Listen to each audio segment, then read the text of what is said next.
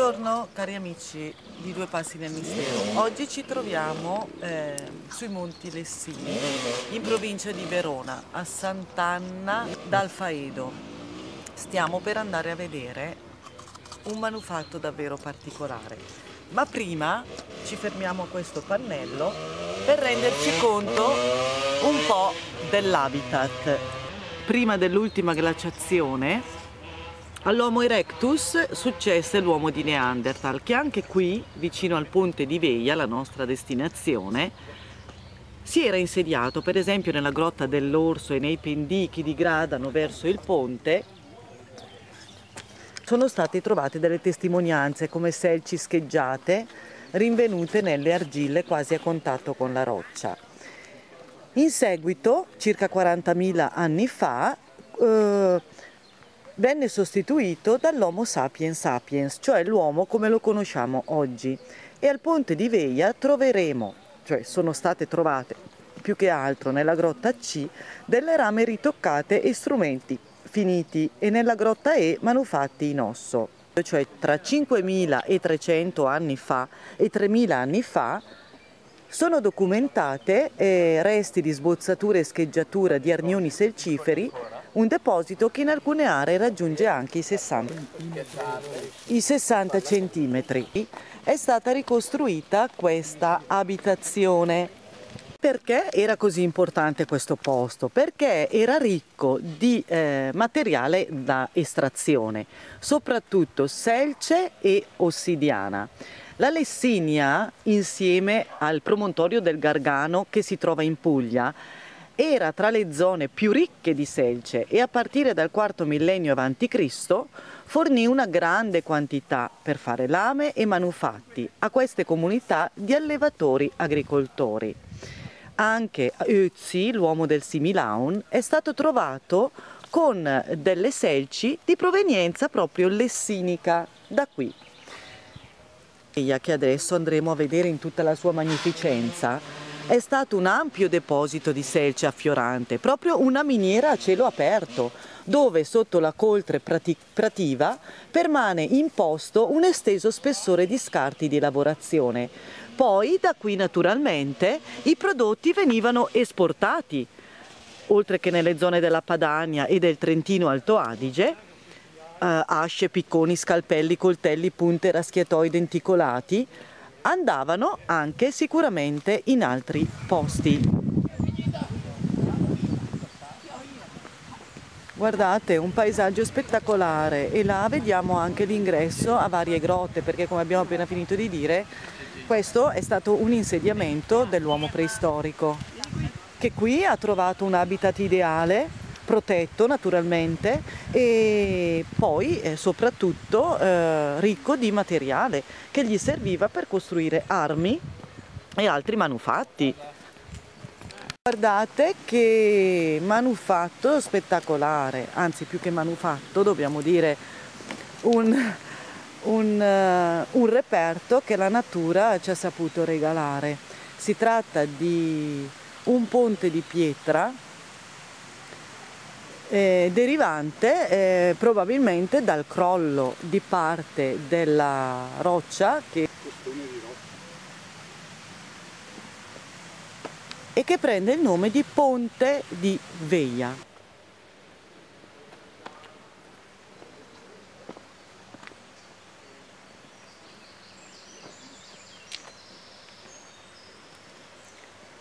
Credetemi, si tratta veramente di un posto incantevole, un miracolo della natura che se non stessimo vedendo con i nostri occhi stenteremmo a considerare eh, vero.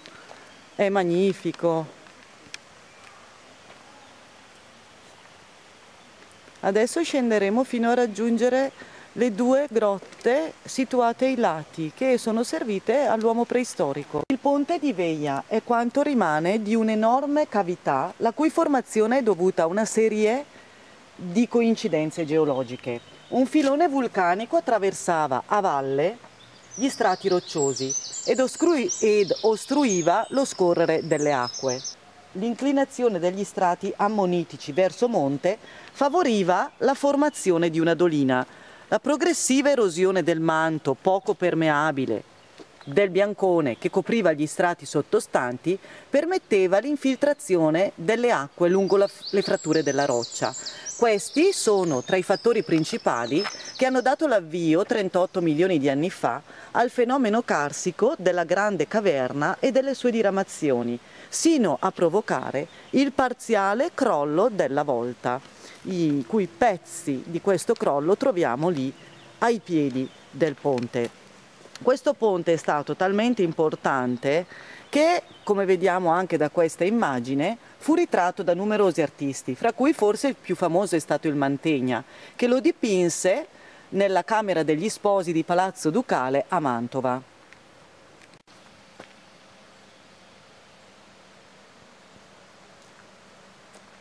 E allora, e oggi come allora, ci sono delle costruzioni al di sopra.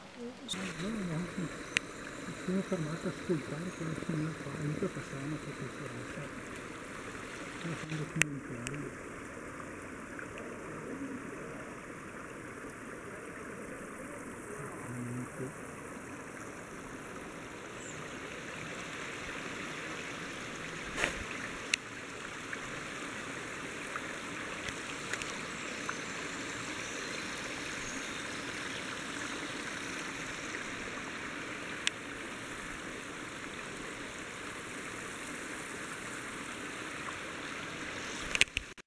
Ecco, qui ci troviamo eh, in una eh, delle grotte che si trovano ai piedi del ponte.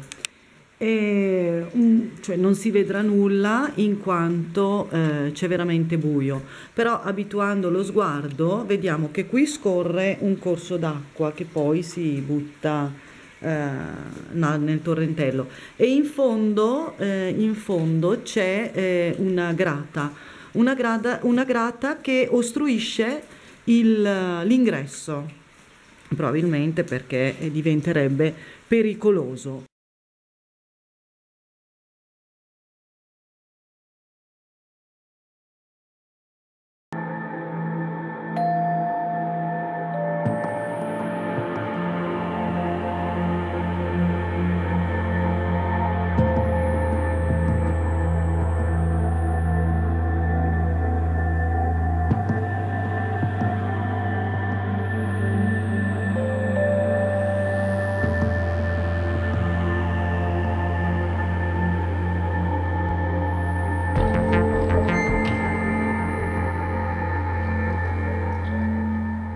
Guardate, qui qualcuno ha scolpito questo crocefisso. Latti Achille è stato, completamente nella roccia, nel, nella roccia monitica rossa. Ecco là riusciamo a vedere l'ingresso delle cavità che si trovavano proprio in questo banco roccioso e poi qui davanti a noi si staglia meraviglioso questo ponte naturale, uno tra i più eh, maestosi non solo d'Italia ma d'Europa. E tra l'altro bisogna dire anche un'altra cosa, che qui una volta, cioè milioni di anni fa, c'era il mare ovviamente, come ormai tutti sappiamo, come la geologia ci dice. E in questo mare c'erano anche eh, dei, eh, degli squali. Perché dico questo? Perché eh, un eh, fossile perfettamente conservato e unico al mondo di un particolare tipo di squalo è stato trovato proprio in queste zone ed è conservato nel museo paleontologico. Guardate, il posto è veramente meraviglioso. E dobbiamo immaginarlo, ecco, questi sono i resti che sono caduti millenni, nel corso dei millenni. E dobbiamo immaginare eh, questo posto come un'enorme caverna della quale resta questo meraviglioso ponte naturale. Qui? A destra.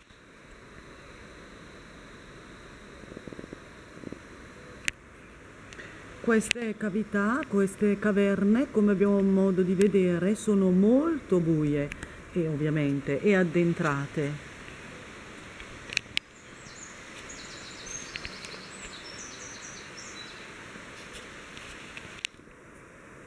Lì però possiamo vedere anche dei graffiti e delle scritte che sono state lasciate nel corso del tempo. Per esempio c'è scritto Ludovicus Salvius e poi ci sarebbe anche forse un altro nome sotto la data del 1888 parrebbe.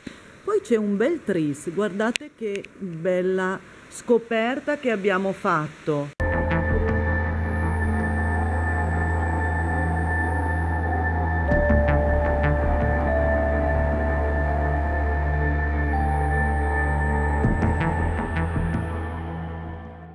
Insieme ad altre scritte, nomi, croci e probabilmente qui una volta il posto era accessibile a chiunque. Adesso ci sono dei cancelli. Comunque, quella che abbiamo appena incontrato è la cosiddetta grotta dell'orso che conserva un equilibrio costante tra temperatura e umidità. Ospita tuttora, benché rarefatta, una colonia di pipistrelli nella grotta dell'acqua invece, grazie alla sorgiva che vi sgorga, prosperano diafani, crostacei, molluschi e anfibi e anche varie specie di ragni, di coleotteri, di cavallette. Gli scavi archeologici che sono stati fatti nel secondo dopoguerra nella grotta dell'Orso e in altri siti rivelano la forte consistenza della grande fauna che un tempo assieme agli uomini am, a, animava l'ambito di Ponte di Veglia, rinoceronti di Merck, elefanti antichi, poto, ippopotami, daini, caprioli, cinghiali.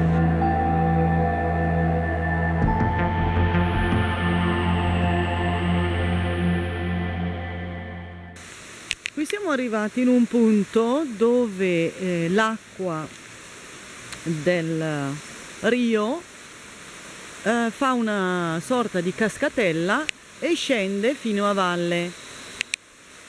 La vegetazione, che pure non è foltissima, conferisce comunque un aspetto molto pittoresco, sempre con il ponte a fare da sfondo. E...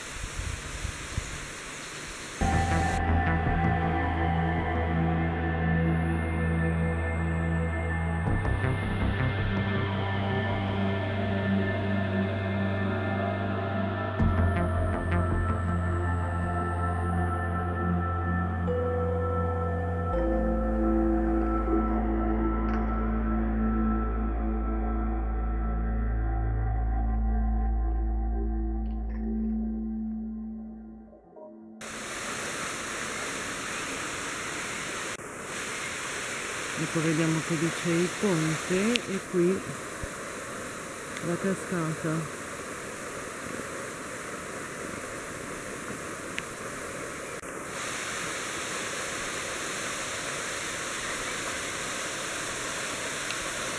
E immediatamente di lato alla cascata ancora grotta, ancora caverna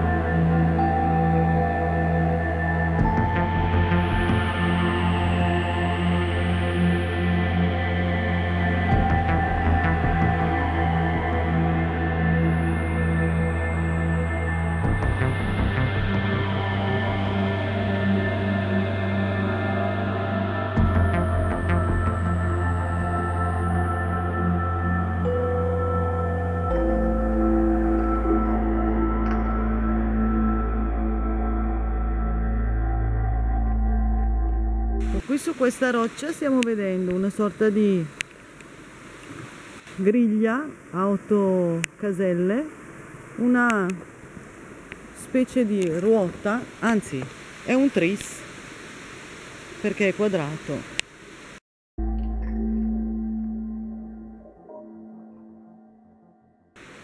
Proseguono i nostri due passi in questo meraviglioso ambiente naturalistico ma che eh, è stato anche un prezioso habitat dell'uomo preistorico e quindi è anche un sito paleontologico ed archeologico. Ci addentriamo adesso, se riusciamo, in una delle caverne per renderci conto, almeno sommariamente, di come potessero vivere gli uomini preistorici, però qui troviamo una parete che è stata senz'altro chiusa in epoche non molto uh, lontane da noi, quantomeno non preistoriche.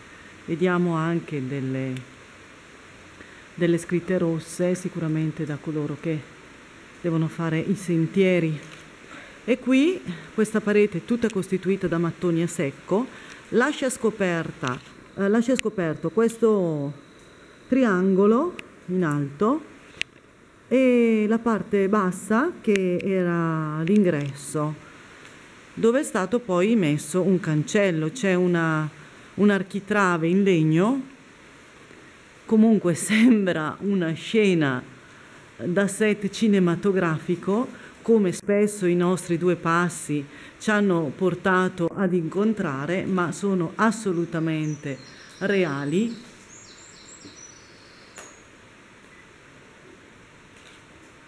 scritte sulle varie pietre, anche ad una certa altezza, testimoniano il passaggio di persone. Ma comunque non so se queste immagini riescono a dare minimamente il conto di dove ci troviamo.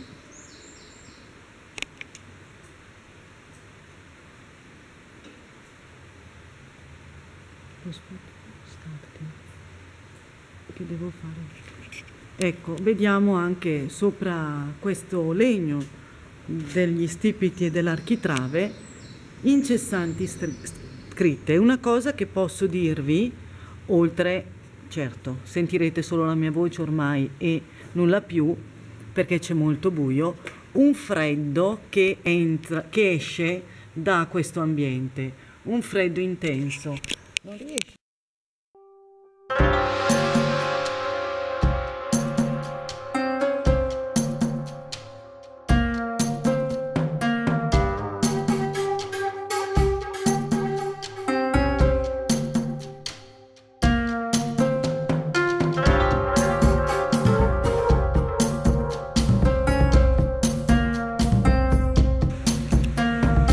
Questo è l'ingresso della caverna da dove eh, abbiamo fatto le riprese poc'anzi, però come abbiamo visto la porta è poi sbarrata ed è impedito l'accesso.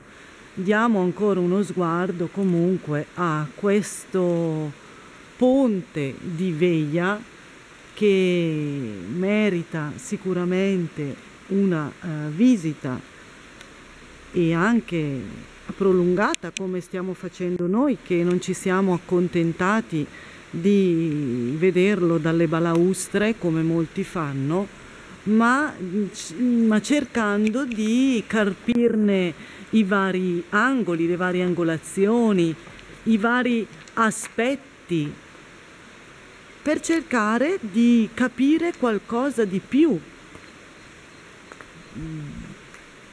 degli antenati, dei proto, proto antenati che ci hanno preceduto su questa terra, sulle loro abitudini. Per esempio, qui essi eh, avevano trovato in abbondanza cos- la cosiddetta pietra focaia, che serviva loro per accendere il fuoco.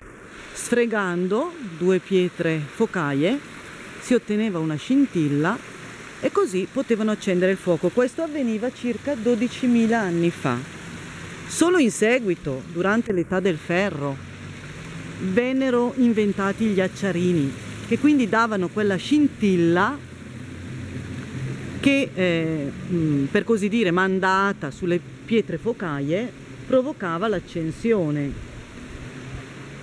E la grande, diciamo, produzione che c'era di pietre focaie in questo posto è stata una tradizione millenaria, tant'è che ancora sotto Napoleone si produceva eh, questa pietra che serve per gli acciarini